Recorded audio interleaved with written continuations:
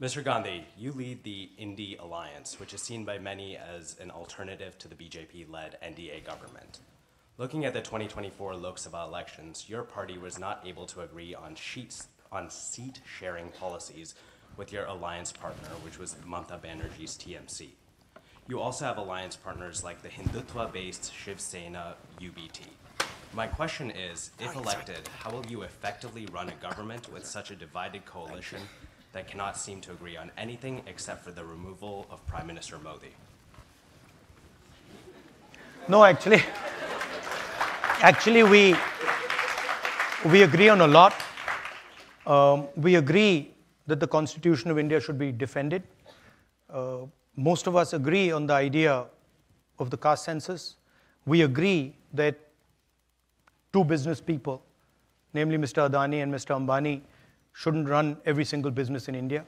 So for you to say that we don't agree, I think uh, is inaccurate. Uh, second thing is that all coalitions are negotiations, right? So certain amount of to and fro will always take place. That is perfectly natural. There's nothing wrong with it. And we have run governments again and again which have been successful using coalitions. So we have, we're pretty confident that we can do it again. Thank you. And actually, uh, I think if we get it right, uh, we would, uh, yeah, sorry, it's not Indi Alliance. That's a BJP framing. It's India Alliance. What's the last word stand for?